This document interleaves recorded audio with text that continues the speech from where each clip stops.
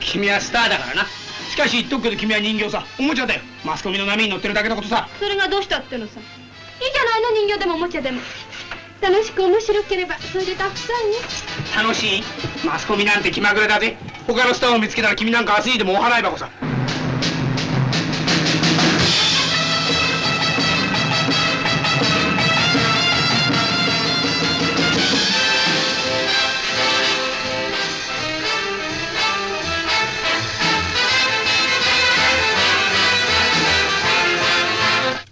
巨人とは何か？もてあそばれる玩具とは何か？夢も希望も愛情も全てを踏み砕く巨大な歯車。その中に巻き込まれ一夜にしてスターにのし上がった少女をめぐる二人の青年。新しき世代のスター川口野添の名コンビが演技賞をかけて火花を散らす。若々しい情熱の巨変巨人と玩具。